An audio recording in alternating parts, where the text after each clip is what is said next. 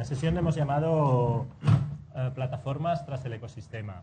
¿vale? La idea es un poco eh, intentar profundizar en la idea de plataformas entendidas como qué piezas faltan para que el Internet of Things como algo real y tangible que llega a nuestras casas, a nuestras fábricas, a nuestra vida de verdad, eh, faltan para conseguir eh, que la experiencia de las personas y los objetos conectados y realmente interactuando de una manera natural y cómoda se haga realidad. Entonces tenemos, bueno, tenemos un poco eh, bajo este concepto de plataformas, pues vamos a hablar con gente que realmente está montando servicios de interconexión y de interacción entre objetos.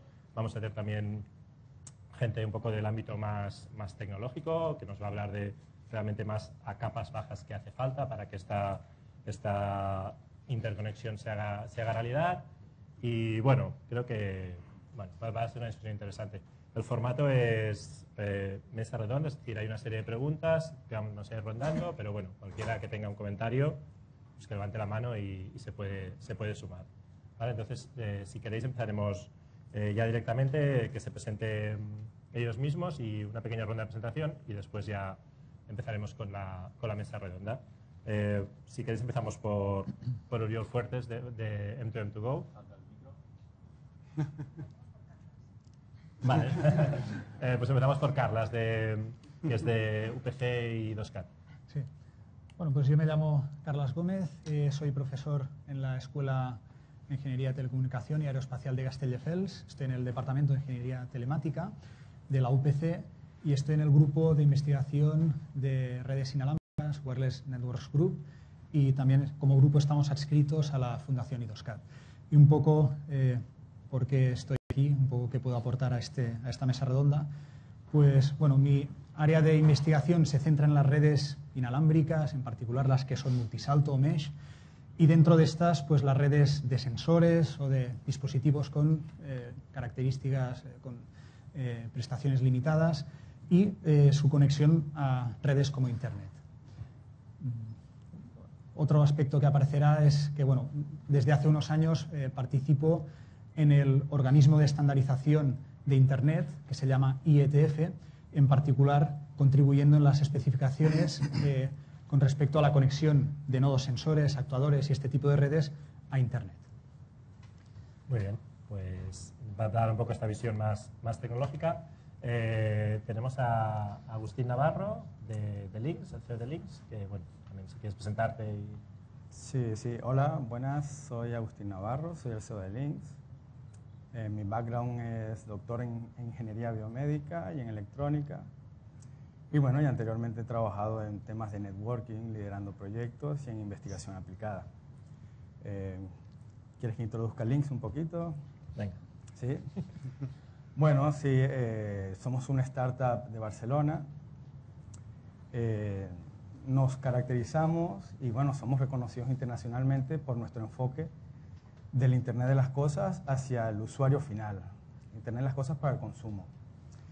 Y bueno, nuestra misión es un poco que, el Internet de las Cosas sea una tecnología que, vivamos todos en nuestro día a día.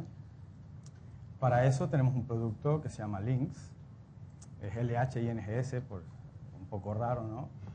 Eh, viene de Linking Things, y bueno, ahí es una plataforma en la que es accesible por, cualquiera, puede crearse una cuenta y la idea es que conecte dispositivos y pueda interactuar con ellos e igualmente con esos mismos dispositivos pueda crear servicios que puedan ser disfrutados por otros. Eh, les invito a que echen un vistazo a la plataforma. Eh, cualquiera puede crearse un dispositivo uno mismo. Sin embargo, eh, dispositivos comercialmente disponibles ya estarán para principios del año que viene. Muy bien, eh, pues eh, tenemos también a Auriol Rius de, de Cloud Factory que ¿Sí? Muy bien, pues ah, bueno, yo empezaré, empezaré por la empresa y con esto ya entenderéis mi perfil y si alguien quiere saber algo más de mí, pues con buscar mi nombre en Google eh, rápidamente encontraréis mi blog y 14 años de, de, artículos, o sea que podréis formar tranquilamente una opinión de, de por dónde van mis inquietudes personales. Pero aquí estamos para hablar de Internet de las Cosas y ah, yo estoy aquí como CTO de, M2M Cloud Factory. Eh, M2M Cloud Factory es una empresa joven, pero que eh, el equipo, sobre todo el equipo técnico que lo, forma, ya llevamos una larga trayectoria eh, trabajando juntos. Anteriormente desarrollamos una plataforma de cartería digital y lo que hemos hecho es ir un paso más allá de la palabra plataforma y convertir esta plataforma en un framework eh, mucho más versátil para el desarrollo de soluciones M2M. Y aprovechando, digamos, este M2M versus Internet of Things, os, doy mi, opinión para que entendáis cómo es que eh, empresas que se llaman M2M estamos aquí hoy hablando de Internet of Things.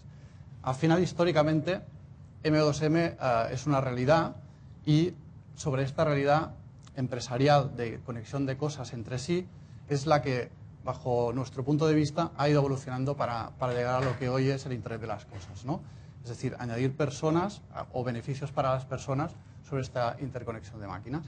Y este es el, propósito de nuestro framework, es decir, ayudar a las empresas a mejorar sus procesos y hacerlos más rentables y más innovadores eh, bajo el paraguas del M2M y cada vez más del Internet de las Cosas. Muy bien. Eh, y por último, estamos con Uriol Fuertes de M2MGO. Uh, ah, bueno, ¿me oís más o menos? uh, si va bien, voy a hacer una presentación en inglés. Estoy un poco más acostumbrado. O sea que...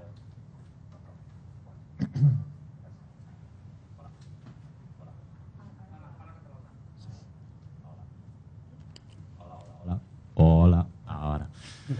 Uh, so my name is Uriel Fuertes. I'm from M2M M2M is a startup founded in Berlin in the year 2013. And I'm here today to share our vision of the Internet of Things. Um, the Internet of Things, we think that it's not really about these things that we are connecting the Internet, even if it sounds a bit funny uh, this, the, it is really about the people that is using these things.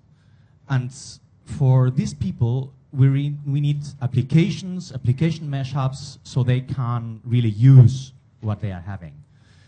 Um, after doing some research on the market, we found out that uh, most of the platforms, most, most of the products that we found on the market offer some kind of device connectivity layer and uh, device management layer where you can connect your assets and manage your assets and then offer uh, well, sometimes it's quite a nice API and then leaves you there and say, okay, now you can go on. So as a company, I stay there and say, okay, uh, I want to make an application.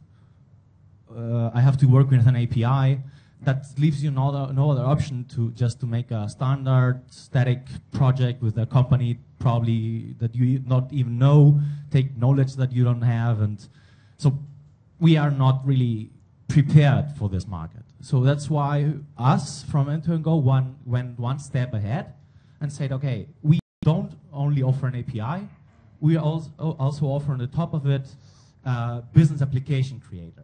So and with, with this product, it's uh, just by drag and drop, you can create your applications, you can create your rules, you can create your, your, your home product, then at the end you can deliver to your client. So we offer the possibility to create an end-to-end -end solution from the connectivity to the final user.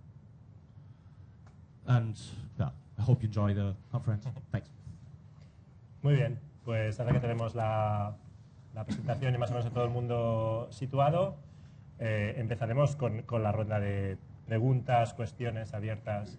Con la idea de un poco posicionar dónde estamos ahora, qué ha pasado últimamente y dónde nos vemos en un futuro cercano y eso, qué tiene que pasar para que esto que todos creemos que va a pasar llegue a pasar y que realmente Internet of Things sea algo masivo y presente en la vida de mi madre y de mi hijo. ¿vale? Entonces, bueno, eh, como pregunta así introductoria, que podemos, soy zurdo, pues podemos ir de izquierda a derecha. Em, lo primero sería un poco, bueno, que dierais vuestra visión sobre, esta es la segunda edición del, del fórum, eh, y algunos otros de hecho estuvisteis que año pasado, entonces, eh, ¿qué ha pasado en este año? ¿Qué ha pasado en estos últimos tiempos de significativo en el mercado de IoT? Es decir, hay una evolución, yo como abogado del diablo podría decir, yo creo que estamos igual del mismo sitio que el año pasado. Eh, ¿Dónde están las plataformas? Es decir, un poco, bueno, una pequeña ronda para posicionar, decir, no, pues mira, ahora estamos aquí y hemos venido de aquí y vamos para, para allí. Si quieres empezar tú, Uriel. Muy bien. A ver, bajo, mi punto de vista, ah, Internet of Things, como cualquier tecnología, tiene su curva, de adopción, ¿no? Entonces, ah, como cualquier curva de adopción tecnológica, al principio pues hay unos early adopters, ¿no? O sea, hay unas personas, unos tecnólogos, unas personas más inquietas por la tecnología que empiezan a adoptar todo esto.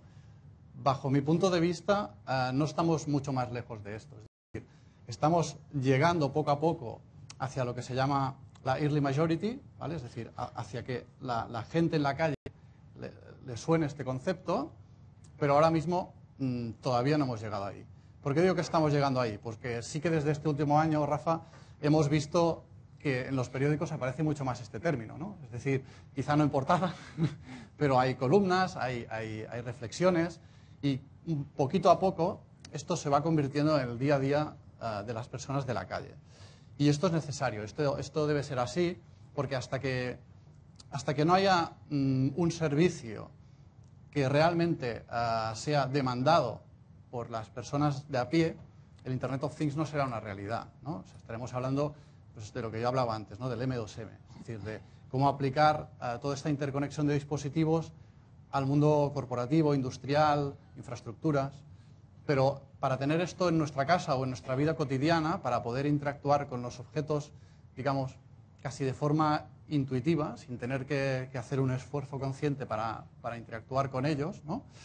Eh, yo creo que hace falta, por un lado, que este término se generalice, que sea conocido para, por, por la sociedad, igual que se conoce la palabra Internet. Eh, no sé si recordáis, en los inicios de Internet todo el mundo hablaba de Internet y nadie sabía para qué servía, hasta que la web empezó a ser disruptora. ¿no? Un servicio dentro de esta tecnología fue especialmente demandado eh, por la gente de a pie. Esto abrió las puertas a Internet y ahora mismo pues, ya podríamos cuestionar eh, si la web realmente es el servicio más demandado de Internet. Y no digo porque no sea usado, sino porque hay servicios sobre de la web que confunden, como podría ser Facebook, ¿no? La, gente te dirá, no, no, una de las cosas más demandadas de Internet es Facebook. Y dices, pero esto en parte es web, ya no importa, lo que importa es el servicio. Y aquí es donde yo quería aportar este granito de arena, ¿no? Es decir, evidentemente seguimos esperando la Killer Application, aquí tienes razón, Rafa, es decir, hace falta un servicio que todo el mundo demande. Eh, Google apuesta por sus cosas, Apple por las suyas, todos eh, al final lo que están ayudando es a, a difundir este término y a permitir que la creatividad de cada una de las personas que hay en el mundo eh, den lugar a esta aplicación. Y fijaros que no hablo de técnicos. ¿eh? Al final, quien, descubre los servicios muchas veces no son los técnicos. Son los que consiguen que esto llegue a la calle, eh, pero no son los que tienen la idea.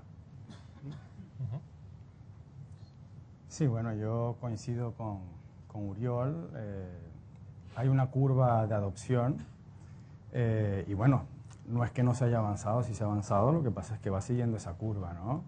Eh, lo que significa que cada vez estamos más cerca.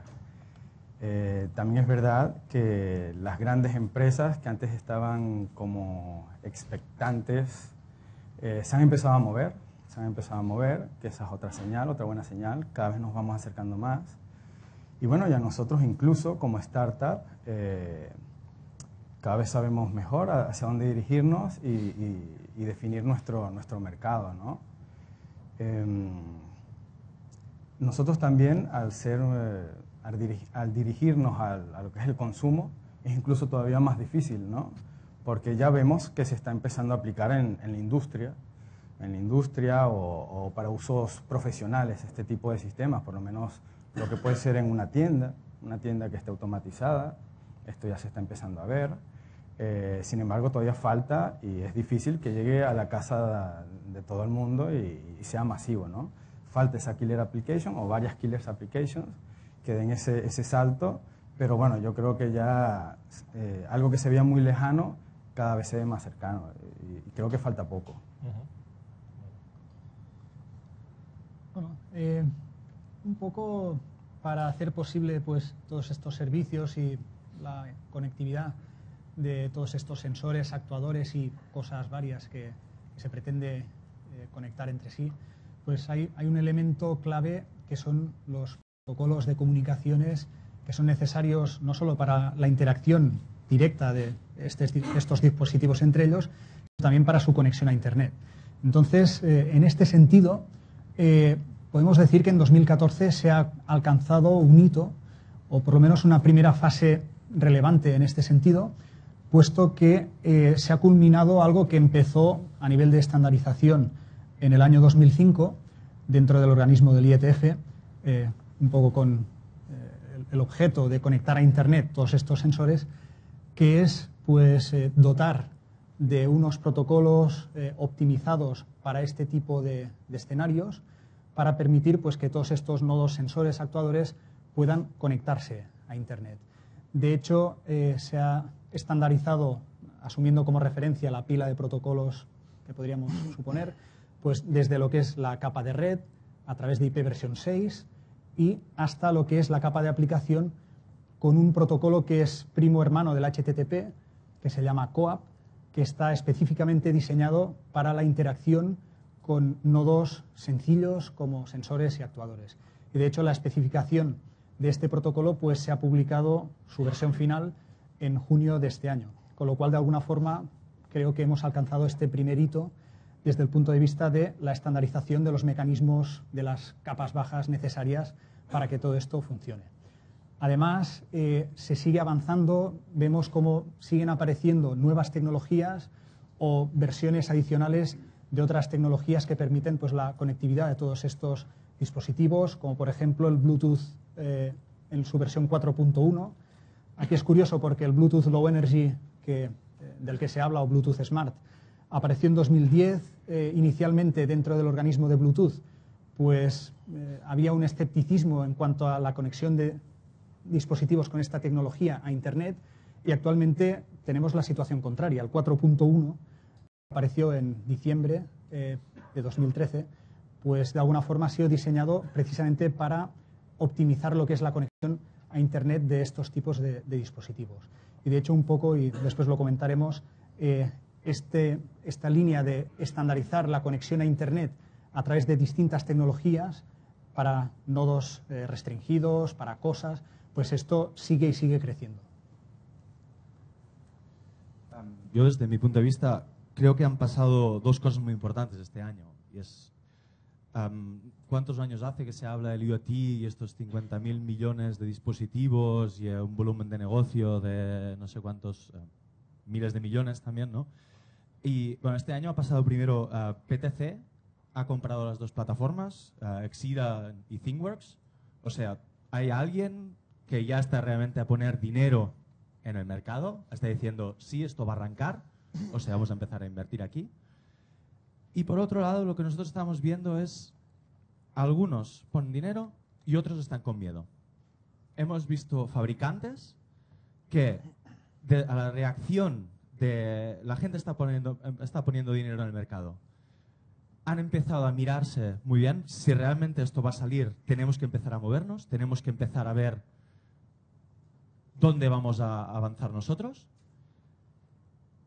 pero este año aún no se han atrevido a dar el paso. Lo que hablaban, falta una killer app, falta un dispositivo que realmente revolucione esto. Aún no hay nadie que se esté atreviendo a sacar algo absolutamente revolucionario, distinto. Hablamos, uh, Google o Apple han sacado sus dispositivos, no son revolucionarios. Son, crean mercado, hacen cosas, pero no es un diferencial. Yo, para, para aportar en, esta línea, yo creo que más allá de las killer apps, aunque es un tema que, he puesto yo encima de la mesa, hay cosas que sin ser killer applications nos podrían facilitar mucho la vida como, personas de a pie. Eh, vamos a imaginar, por ejemplo, el mundo de las impresoras, eh, por, poner un ejemplo. ¿no? Pues, en este mundo, todos, que más que menos en su casa, en el trabajo, pues tiene una cierta relación con este producto. ¿no? Es un producto ya cotidiano en muchas casas, en muchos ámbitos, tanto pues, educativos, profesionales, etc. Es un producto súper normal. Muchas de ellas son capaces de conectarse a red de forma pues que hasta las aplicaciones más modernas, desde nuestro móvil o nuestra tablet, podemos mandar cosas a imprimir. ¿no? Desde aquí yo podría mandar algo a imprimir a mi casa. Eso sería ya lo más avanzado. Pero quizá debido a la agresividad de los precios que tienen, lo que digo, no está dándose, pero a nosotros nos supondría una ventaja competitiva importante, y es la, del diagnóstico remoto o del soporte remoto. Es decir, si nosotros tenemos una impresora con capacidad de conectarse a la red, ¿por qué? Cuando yo tengo un problema técnico con mi impresora, tengo que hacer una llamada telefónica y tengo que empezar a, a explicar, sin ser técnico de impresoras, qué le está pasando a mi impresora. Yo creo que sería mucho más natural que ese objeto fuera smart, o sea, fuera inteligente de alguna forma y fuera capaz de contactar con el fabricante hacerle un diagnóstico, decirle, oye, lo que me está pasando es esto, y cuando yo contacte al fabricante o el fabricante contacte proactivamente a mí, me digan, oye, tu impresora le pasa esto, ¿quieres que te lo solucione? Eh, o puedes dirigirte a tal sitio, comprar tal pieza y eh, esto te volverá a funcionar y podrás entregar el trabajo de la escuela de tu hijo mañana. ¿no? Que esto es un problema real y es un problema que la tecnología para solucionarlo está ahí. Es una cuestión puramente de encontrar la fórmula de negocio que haga que el fabricante tenga el interés y que las empresas como las de las personas que estamos aquí sentados eh, tengan eh, cabida para ayudar a los fabricantes a hacer estas cosas, ¿no? porque al final el fabricante de impresoras sabe de impresoras, no sabe de manejar 50 millones de impresoras conectadas a la red. ¿eh? esto tiene un, nivel de dificultad importante y es lo que da sentido a nuestras empresas, creo yo. Muy bien. Eh, bueno, eh, pues un poco en este, este escenario, em, lo habéis comentado un poco, esto que han empezado a moverse grandes, grandes players. De hecho, casi todo el mundo empieza a tener alguna cosa incipiente, pero creer realmente, realmente, no sé, Internet of Things es una cosa que quizá por su mismo concepto tiene más sentido que se, concluya, se construya un poco bottom-up, es decir, pequeñas piezas que se van uniendo, o realmente tenemos que esperar eso, que se pongan y que yo qué sé, lo que decíamos, pues Apple saca el HomeKit este el año que viene realmente tira, tenemos que esperar, ¿creéis que va a tener que ser un grande el que tire o pensáis que realmente un poco por, por generación espontánea pueda salir algo más desde abajo? Yo, yo creo que, que los grandes tiren ayuda mucho. Ayuda mucho porque al final hay que, uh, digamos, explicarle a la sociedad lo que es capaz de hacer. Y esto es lo que a los grandes nos están facilitando. Es decir, el hecho de que haya un Apple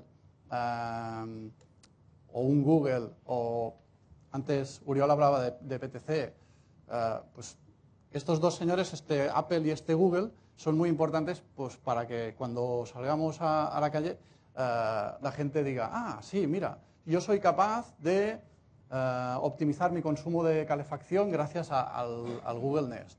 Perfecto, ¿no? O sea, esta persona pues tiene un beneficio y por lo tanto está interesada en este producto. Pero quería coger el testimonio que ha dejado antes Uriol con PTC. ¿no?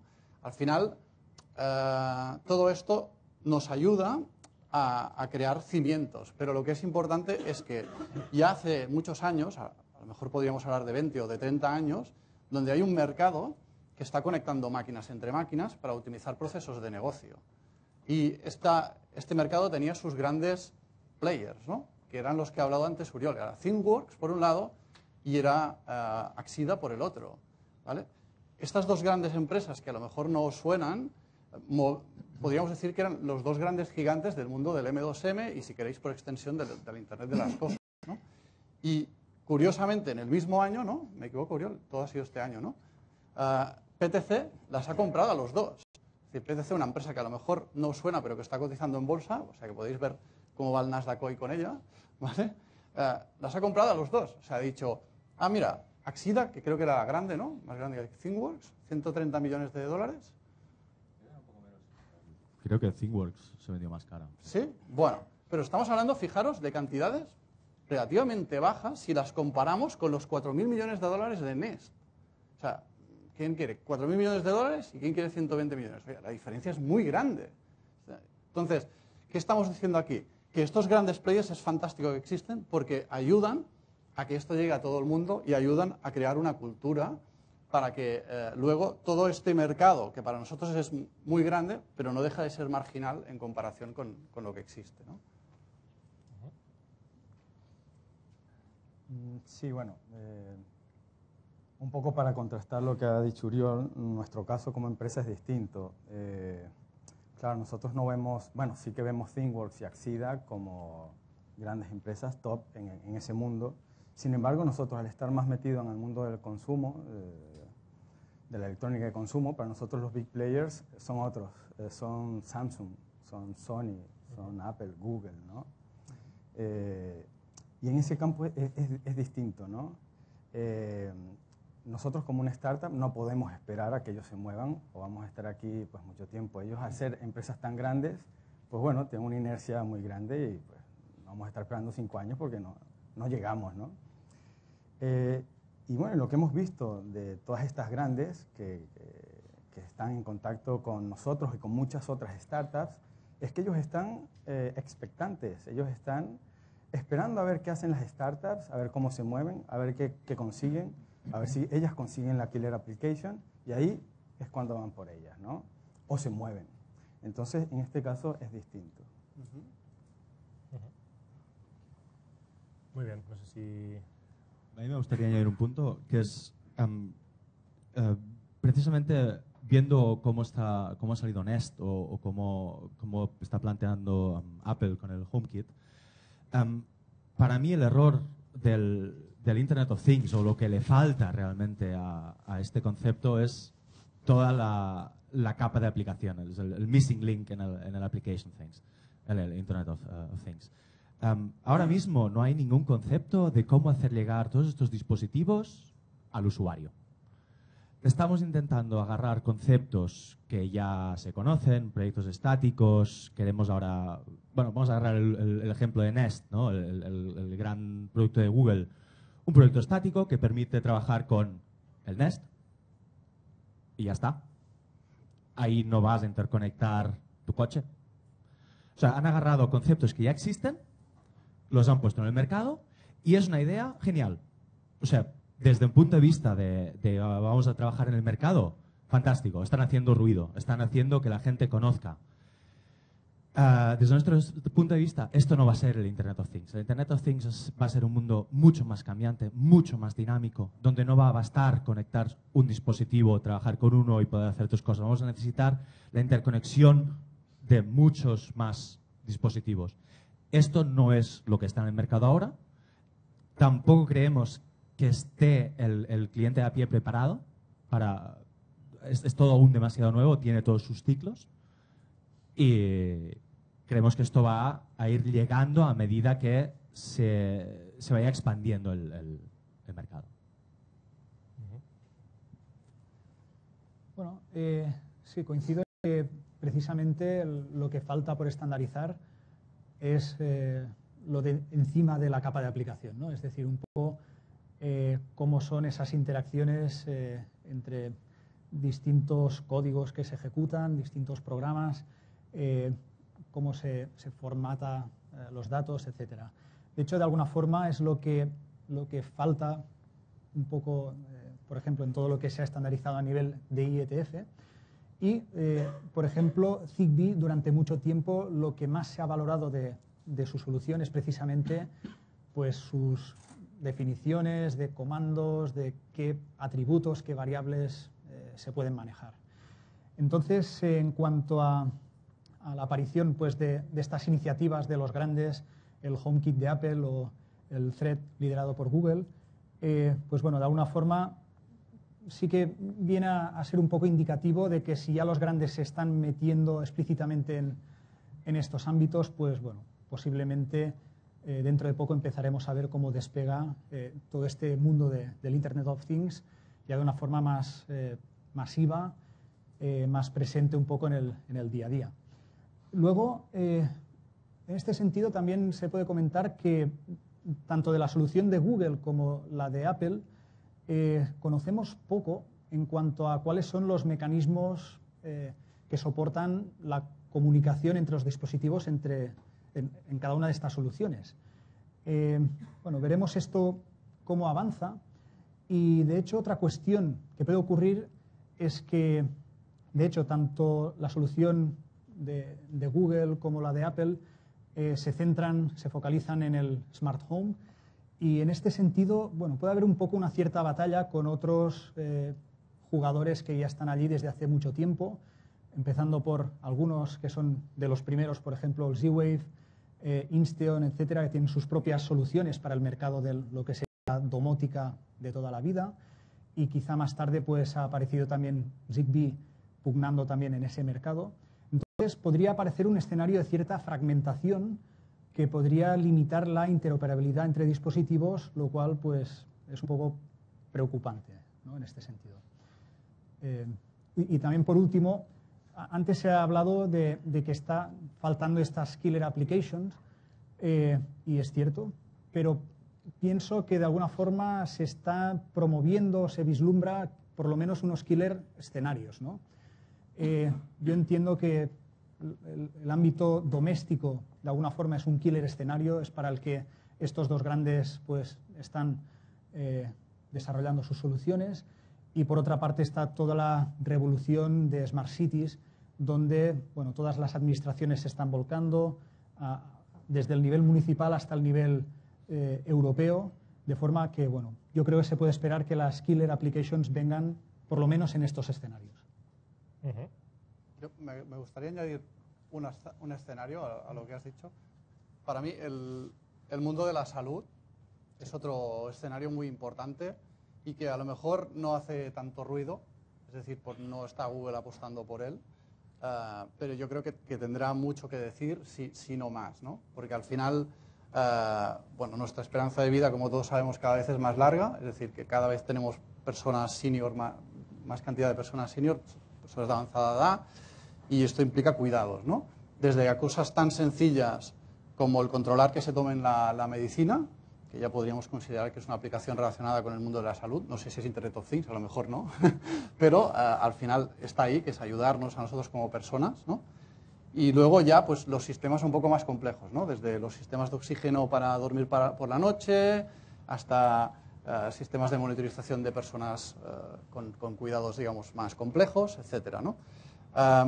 Pero, si me permitís, para mí eh, lo que falta para que se dé la Killer Application es más una cuestión de interfaz.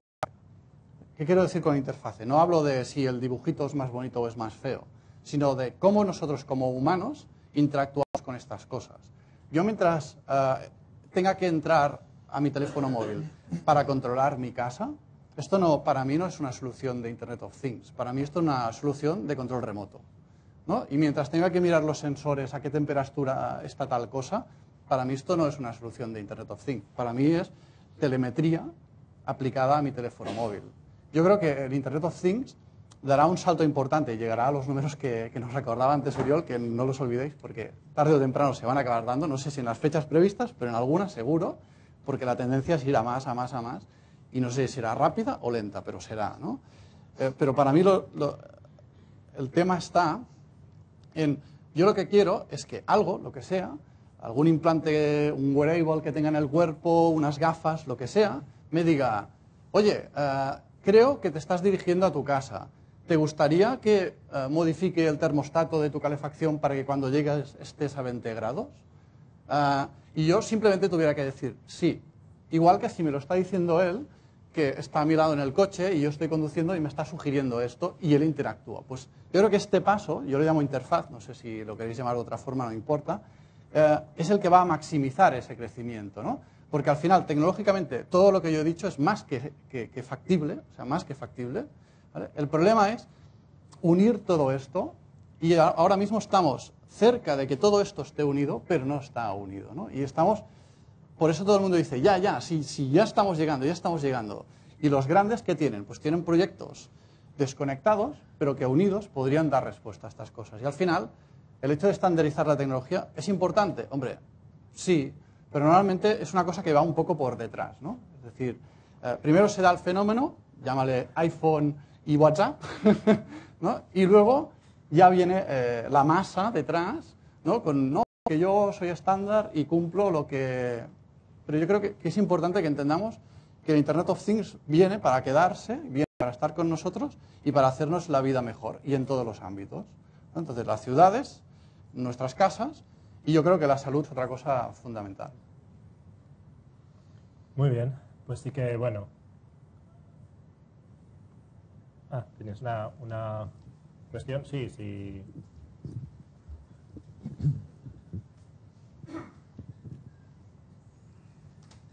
Eh, hola.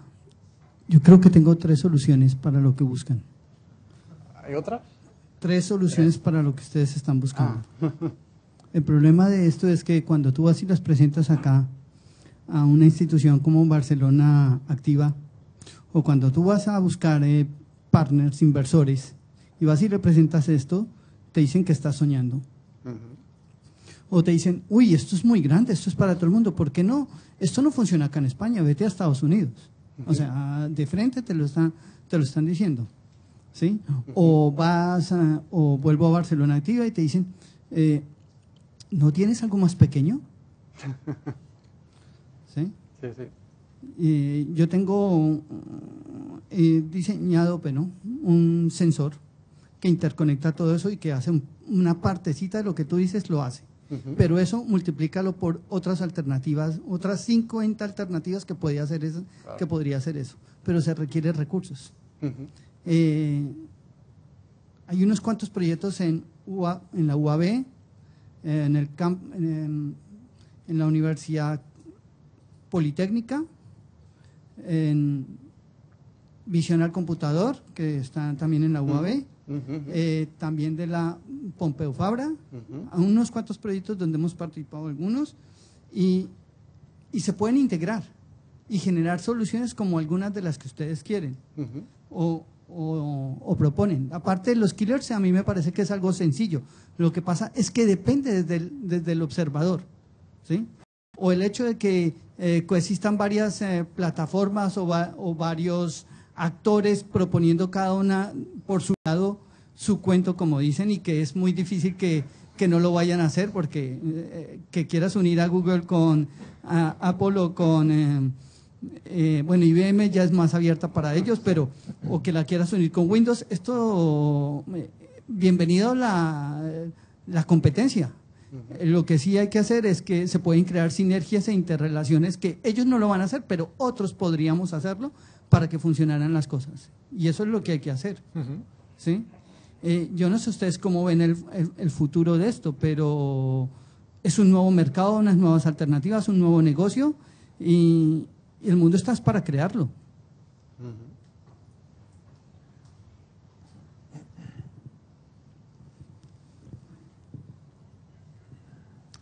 Hola, yo, yo quería preguntaros qué estáis haciendo para crear esa demanda. No hay que esperar que venga alguien y nos salve y que, y que todos los de a pie nos aparezca algo. Sí, esa es una pregunta que ahora la vamos a hacer Sí. extensiva. Hay, hay un entorno entre el consumidor final y, y las grandes empresas que a nivel industrial empezarán a utilizar el Internet of Things, que son gremios, asociaciones, etcétera, etcétera, a los cuales alguien se tiene que dirigir. No solo interconectar o intentar in- interconectar la sociedad en un espacio como este, en un foro como este, una vez al año, soluciona el tema para avanzar. Sí, eh, es un poco, si queréis, para ir sacando más temas y bueno, eh, cogiendo un poco este concepto eh, y teniendo claro que parece que se trata de un tema de aplicación, es decir, tenemos la tecnología eh, y un poco entiendo que venimos de, un, de una historia en la cual parecía que la conectividad era suficiente, es decir, que con conectar cosas ya había suficiente para, para vivir. Am, y ahora estamos viendo que no, que realmente solo con cosas conectadas, bueno, no, no pasa un fenómeno del, del alcance que se espera que se haga. Entonces, un poco ah, con la idea de que, bueno, vosotros tenéis un rol, es decir, esto al final es un ecosistema, es conectividad más servicios. Am, ¿Cómo os veis vosotros como plataformas? ¿Qué rol tenéis ahí? Es decir, también tienen presente, por ejemplo, pues yo qué sé, Barcelona es una ciudad con una comunidad de developers bastante potente. Es decir, eh, ¿cuál es vuestra posición o hasta dónde llegáis vosotros? ¿Vosotros sois conectividad más una API chula para, para que gente por encima desarrolle servicios, que eso va a pasar?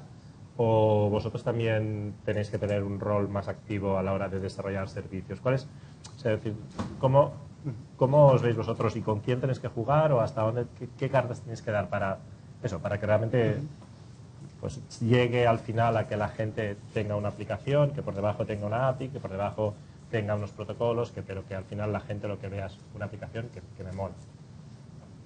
Sí, se parece bien. Primero aquí quizá hay un punto que es muy clave, que es la diferencia entre M2M y Internet of Things. Esto es, o sea, ahora mismo lo que hay y lo que lleva muchos años es M2M. Máquinas que se conectan con máquinas, es un mercado existente, es un mercado que crece, no es el mercado de los 50.000 millones de dispositivos. ¿Cuál es la diferencia entre uno y el otro? La diferencia realmente está en lo que hablaba, la aplicación. Es la aplicación, la interfaz que llamaba antes Uriol, es lo que nos va a permitir que este mercado, que ahora mismo solo está, vamos a decir, de nivel empresarial o a pequeña escala en el M2M, se exporte al usuario. ¿Dónde nos tenemos que poner como, como plataforma? A ofrecer aplicación. O sea, es la capa que va a, a, a- marcar las diferencias en estas empresas que están ofreciendo estos servicios. Tenemos que crear unos sistemas y unos mecanismos para poder crear estas aplicaciones de manera rápida, flexible, barata y que se puedan modificar sin problemas. Porque esto es el mercado con el que nos vamos a encontrar. Uriol hablaba antes, tiene su casa nomótica. Bueno, yo tengo la mía. Lo que él quiere no es lo que yo quiero. Si estamos hablando de usuario final, esta aplicación va a ser para él una, para mí otra. No puede ser la misma. Él tendrá sus dispositivos, yo tendré los míos. Entonces, don- para mí, la- todas estas empresas que estamos saliendo para gestionar el Internet of Things, la base está en la aplicación. No basta una API. Una API es para programadores, para máquinas, no es para usuarios. Bueno, eh, por alusiones. A ver, nosotros como, empresa, nuestro foco no son los usuarios. Esto es importante que, que quede claro. Nosotros vamos dirigidos a, a integradores y a fabricantes. ¿vale? O sea, nosotros, eh, de momento, si nos dirigimos al mercado final es de forma indirecta. ¿vale? Es decir, hay un fabricante que tiene una idea de servicio y al final eh, lo que hace es apoyarse en nuestro producto que se llama Mimetic para eh, llegar más rápido al mercado con su servicio. Esta es, es nuestra visión hoy como empresa. ¿Por qué? Porque como se está diciendo o estamos intentando dejar aquí muy claro, o sea, hoy Internet of Things en sí mismo no es un mercado para poder vivir de él. Pero como decía Uriol, y yo también anticipaba antes, o sea, al final eh, Internet of Things, Uriol lo separa en dos mercados. Para mí, Internet of Things es la evolución del M2M. ¿eh? Pues decir, no es lo mismo. Bueno, antes una cosa se llamaba de una forma, ahora se le han añadido, lógicamente, pues nuevas, nuevos añadidos, y de estos nuevos añadidos ha, na- ha nacido el Internet of Things. Evidentemente, en su nacimiento, ah, muchas cosas de las que se hablaba no sabían cómo se iban a hacer.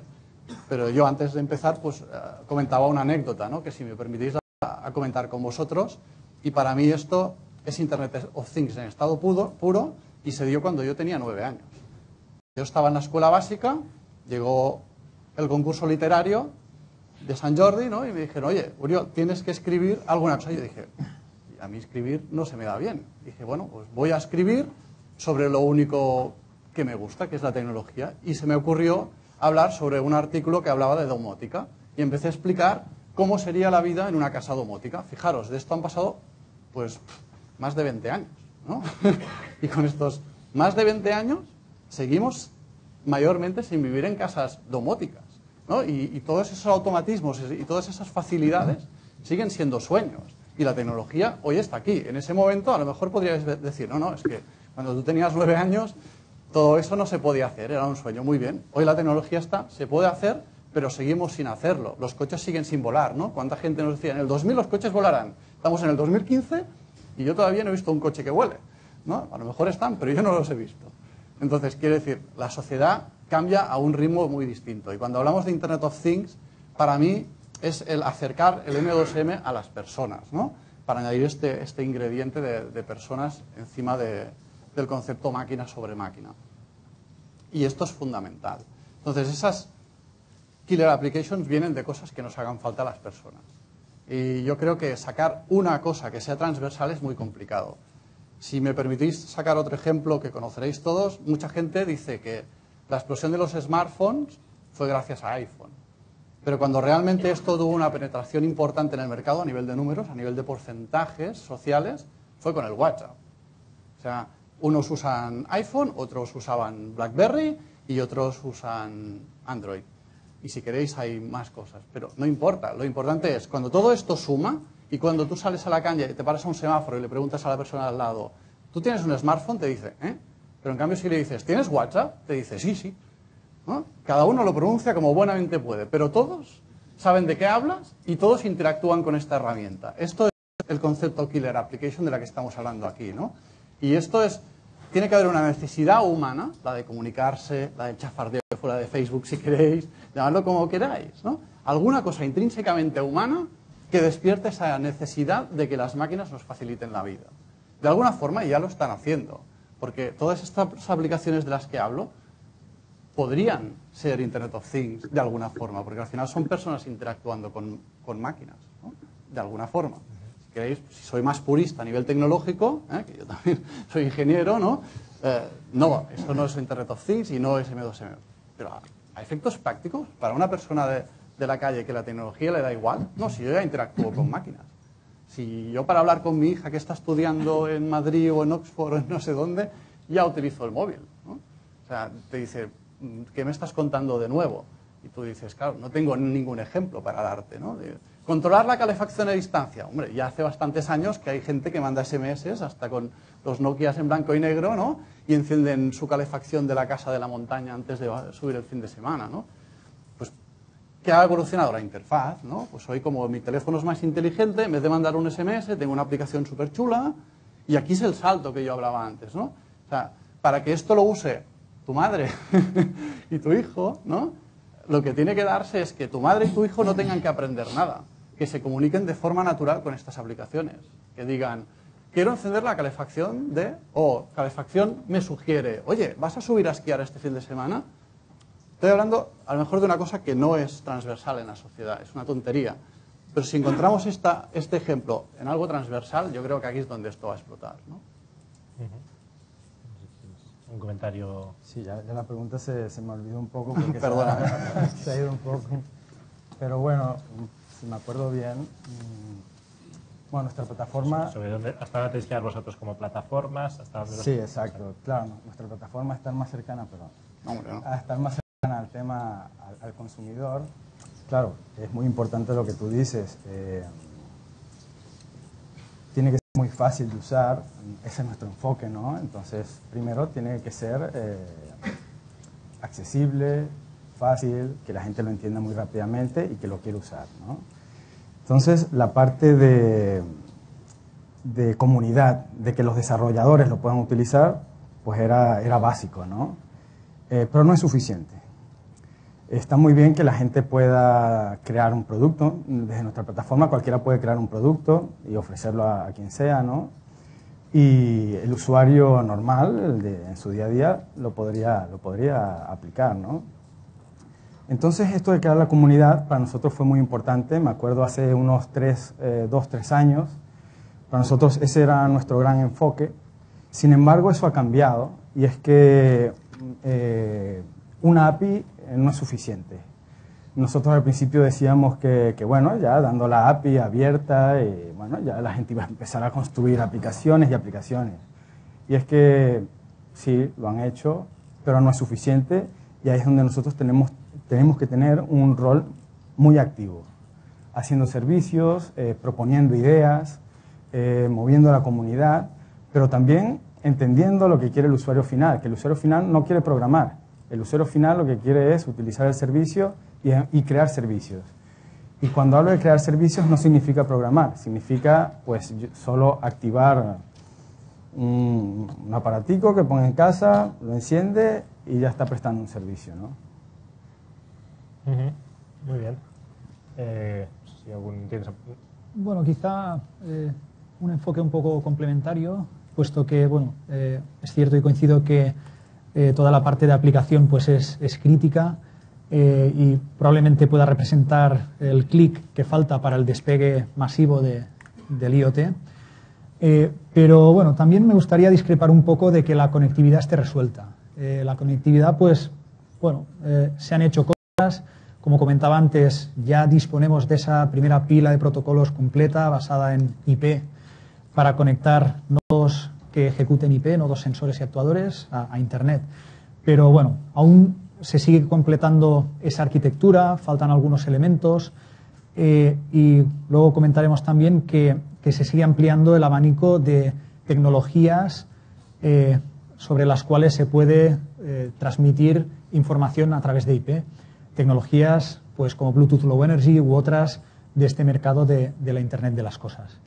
luego hay, hay, otros aspectos que quizá, bueno, se ha, se ha comentado un poco que las aplicaciones deben ser fáciles de, utilizar, pero también los propios dispositivos, el hardware que de alguna forma se despliegue, pues también debería ser plug and play, de alguna forma. Eh, se debería poder integrar de una manera sencilla en una red, evitando rituales más o menos eh, complejos que obliguen pues, a tocar no sé cuántos botones en no sé cuántos sitios para lograr que un dispositivo se integre en una red. Eh, luego, aparte de eso, eh, también hay otros aspectos. Por ejemplo, eh, también se está trabajando en distintos ámbitos y organizaciones en, proporcionar lo que son los mecanismos de seguridad que son imprescindibles para que bueno, todas estas aplicaciones puedan funcionar de una forma que sea segura para el usuario y de forma que el vecino no pueda empezar a apagarnos los dispositivos de casa, etcétera, etcétera. De forma que bueno, hay todo un conjunto de distintos elementos que, que deben también complementar a lo que es estrictamente la aplicación y que de hecho deben soportar la aplicación. Muy bien. Eh, bueno, pues quedan eh, diez minutillos, intentaremos ser bastante puntuales. Eh, bueno, como antes ya se ha comentado un poco el tema de que es un tema que pues, nos interesa a todos, entiendo, tú has un poco apuntado privacidad, seguridad, es decir, qué pasa con los datos, eh, qué pasa con los datos que yo genero, que es un tema que está ahí, que entiendo que nadie tiene una respuesta muy clara sobre, sobre ello, pero bueno, creo que ya se ha apuntado. Si os parece, podemos aprovechar esta última ronda y dejar, si acaso, alguna pregunta que quedaba por allí. Uh, Té que veure amb, amb això, amb la seguretat. És que, mira, estàvem parlant de connectar moltes coses entre si i aleshores jo dic totes fent el control des de la internet. Però aleshores la meva pregunta és, ah, em recordo el dia 9N, el dia de les eleccions i de la consulta gairebé, que les dades no arribaven. I jo deia, com que no arriben, què, què va passar? És que per mi és nou això, que havia hagut un atac. I aleshores, la meva pregunta és, estem prou segurs per controlar-ho tot de la internet? I a, qui jutja això? I què, què és el ciberatac o tot això? Per les plataformes són prou segures per connectar-ho tot entre si? Aleshores, això és la meva pregunta. També té que veure amb la seguretat. Si, si em permets, eh, jo crec absolutament que sí. O sigui, eh, hi ha uns estàndards de seguretat, eh, perdón, hay distintos estándares de seguridad implementados en todos los niveles, se, eh, se consideran seguros, evidentemente, si tú te compras un CRY, que solo se puede comprar la, la, la NASA, y te pones a cracker algo, supongo que no hay nada seguro en esta vida, ¿no? Pero actualmente hay protocolos y medidas que pueden asegurar que todas las conexiones son cifradas, son uh, que no pueden ser uh, escaneadas. Por lo tanto, se trata el, al final de, de, implementar todos los mecanismos en las distintas capas que te aseguren que no se puede, que, el, que el, sistema es seguro. ¿Quién es el encargado de hacer esto? Yo creo que al final, el, tal como entendemos nosotros el, el Internet of Things, hay siempre tres jugadores, el fabricante, la plataforma y el usuario final. El que tiene que asegurar la, seguridad es la plataforma, el que tiene que verificarla es la fabricante, que es el, el final el que, está, el que está poniendo el dispositivo. ¿Me permite? A ver, mm, yo creo que mecanismos seguros existen, pero hay que asumir una cosa. La primera es que la seguridad no existe. La seguridad es una sensación. Y eso no lo podéis olvidar nunca. ¿vale? Es decir, no hay nada seguro en esta vida. nosotros presuponemos que este edificio no va a caer. Eso no quiere decir que haya un terremoto y se caiga. ¿vale? Pero presuponemos que esto será así. Por lo tanto, uh, cuando Uriol dice, eh, bueno, existen tal, nosotros nos vamos a asegurar de que estos datos estén seguros. Somos humanos. ¿eh? Eso quiere decir que el primero inseguro somos nosotros. El primero que tropeza tres veces cuando sube este escenario es un humano. ¿Vale? Un robot se equivocará una vez, corregirá y jamás se volverá a equivocar. Un humano se equivoca y se equivoca y se equivoca. Como esto está hecho por humanos, mm, te aseguro que siempre podrá fallar. Al final es una cuestión de confianza, la seguridad. Es confiar en que esto va a fallar suficientemente poco como para confiar en ello. Y para aportar algo diferente, es, hay una, unas recomendaciones, es decir, la Unión Europea ya se ha pronunciado en ese sentido. Es decir, en el mundo de los wearables, en el mundo de, Internet of Things, de, la nube, ya ha hecho toda una serie de, recomendaciones a nivel de, los Estados miembros de qué se debería cumplir, esto digamos eh, respaldaría lo que, lo que decía Oriol antes, qué se debería cumplir y cuáles son las mínimas medidas y dónde deberían estar estos datos. Es decir, intentar esclarecer quién es el propietario de los datos. Porque claro, si yo soy ciudadano de esta ciudad y esta ciudad eh, está con el concepto de Open Data, bueno, ¿hasta qué punto hay datos sensibles míos como persona que pueden estar almacenados ahí? Eh, quizá esta, esta, iniciativa en sí misma no es una iniciativa insegura, pero fijaros en un detalle. No sé por qué nos estamos complicando tanto la vida con esto, cuando hay una cosa que está muy usada por, yo creo que la mayoría de las personas que estamos aquí, que es Facebook, y otra que es Twitter. ¿no? Y cuántas veces la gente cuando sale de casa dice, me voy a cenar. Y otra persona, eh, estoy no sé dónde con tal. Bueno, eh, yo porque no soy mal pensado, pero hay gente que se gana la vida apropiándose de cosas que no son suyas, ¿no? O sea, sé perfectamente que esa persona no está en casa y que con la distancia que está de su casa, por lo menos tardará tanto rato. ¿Vale? Es decir, nos estamos preocupando por almacenar una serie de datos cuando nosotros somos los primeros que estamos exponiendo nuestra privacidad al medio público. ¿no? Y, Facebook, si os fijáis, no paran de salir escándalos tras escándalos de las modificaciones que hace de sus contratos de privacidad con nosotros. Pensad una cosa y no lo olvidéis nunca. Si no pagáis por algo, sois el producto. Es decir, las empresas vivimos de vender cosas. Si no nos compran, cerramos y vamos a buscar trabajo en otro sitio, porque si no, en esta sociedad capitalista no podemos sobrevivir. Por lo tanto, ¿cuántos servicios estamos consumiendo como personas que no estamos pagando? Muchísimos. Prestar atención todo el día. ¿Y cómo esos servicios se sostienen? Vendiendo nuestros datos. Por lo tanto, ¿Estamos seguros? Mm, sí, sí, nosotros almacenaremos esto y tranquilos que no habrá ningún tipo de fuga de información. Pero luego saldremos a cenar y diremos, estoy con mis amigos, no sé dónde, que es a dos horas de mi casa y no estoy en casa. Entonces, eh, cuidado, porque los primeros que somos inseguros con nosotros somos nosotros. Quiero decir que eh, la conciencia de la privacidad empieza por uno mismo y no está muy, mm, digamos, paradojas de la vida moderna. Muy bien, no sé eh, si os parece, si no tenéis un comentario, pero ya un poco para, para cerrar, eh, intentar ajustarnos a la hora, nada. Una ronda muy rápida de un minuto eh, el año que viene, cuando vuelva a haber el IoT Forum, ¿dónde creéis que vamos a estar? ¿Pensáis que realmente cuando ah, está ahí, está ahí la cosa, la cosa? ¿Creéis que realmente, bueno, es un poco, una, un poco de mirar por la bola de vidrio e intentar, oye, pues creo realmente que en este siguiente año va a pasar esto y esto, que, no sé, una, ronda rápida porque ya estamos casi...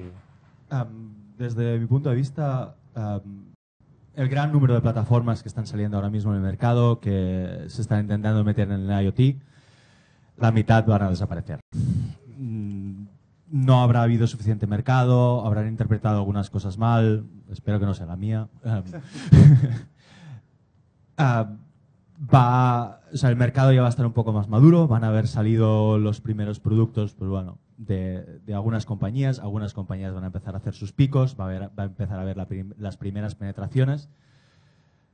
¿Vas a tener 50.000 millones de dispositivos? No, definitivamente no, no en un año.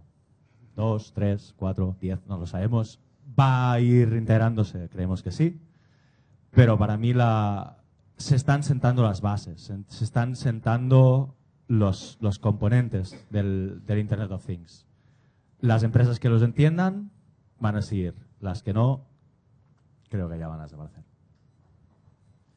Bueno, coincido en que se están creando poco a poco los distintos elementos que han de configurar este panorama de, la Internet de las Cosas.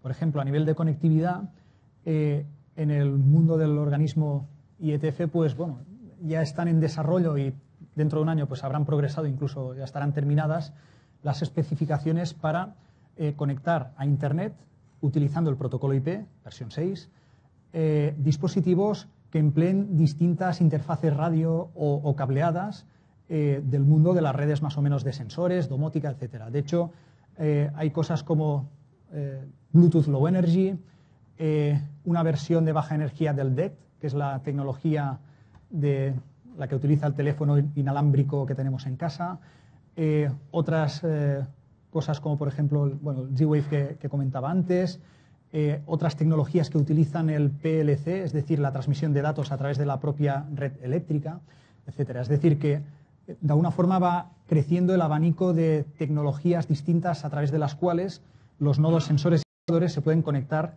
de forma nativa a Internet. Eh, aparte de esto, también hay otro aspecto que es importante. Los propios nodos sensores y actuadores pues, van bajando de precio.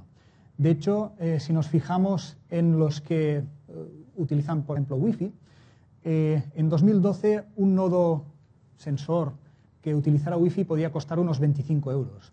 En 2013, unos 12. En 2014 ya somos capaces de comprar esto de aquí, que no sé si se ve muy bien, ¿vale? tiene este tamaño, ¿vale? esto de aquí, por 4 euros y quizás siguiendo esta progresión, pues en un año estaremos del orden de 2 euros y posiblemente podamos llegar a esa cifra más o menos orientativa de que cada uno de estos pequeños dispositivos puede valer del orden del euro, del dólar o incluso menos.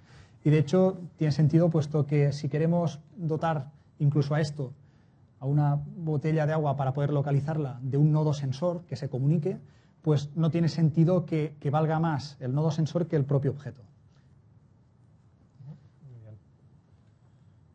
Vale, sí. Eh, un año, vamos, siendo realistas, eh, bueno, vamos a avanzar otro poquito en la curva de adaptación, avanzar un poquito. Eh, muchas iniciativas pues ya no van a existir, van a surgir nuevas.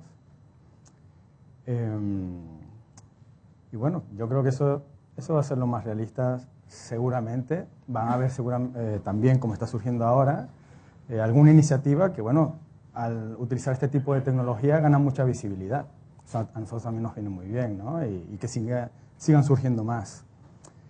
Eh, ahora, bueno, ya poniéndose a soñar, también como decías, eh, a mí que me gustaría, me gustaría que todos los que están aquí sentados pues tuviesen links en su móvil, este espacio fuese compatible con links y por lo menos quizás ese sensor está conectado a links, lo llevo yo puesto y la sala se da cuenta que esa luz me molesta un montón y la disminuye un poco, ¿no? Eso es un poco simplemente lo que yo pienso que podría ser si soñamos. Bueno, mm, yo estando de acuerdo con la base que, decían mis compañeros para aportar algo nuevo, yo creo que durante este año vamos a empezar a ver grandes marcas, ¿vale? Eh, grandes marcas del consumo, de marca blanca, por decirlo de alguna forma, y del mundo hospitalario, de la medicina, eh, haciendo sus primeros pasos en el sentido del Internet de las Cosas. Es decir, eh, servicios muy básicos, muy sencillos desde el punto de vista tecnológico, pero con un gran valor añadido desde el punto de vista del usuario. Yo creo que este año ya vamos a poder empezar a ver durante este año alguna cosa. No, grandes cosas, pero alguna cosa. Y para mí esto es muy relevante porque es, eh, digamos, construir sobre lo que comentaban mis compañeros. Es decir, establecer estos cimientos que en 2, 3, 5, 10 años van a permitir estos números astronómicos que, oímos desde hoy. Desde, bueno, desde hace años, completamente de acuerdo. Muy bien, pues bueno, eh, si os parece, eh, lo vamos a dejar aquí, ya tenemos la, la comida. Eh, bueno, yo me quedo con la idea de que me voy a pensar en ese WhatsApp de Internet of Things para forrarme, pero nada, muchas gracias a todos por, por haber venido y, y a vosotros.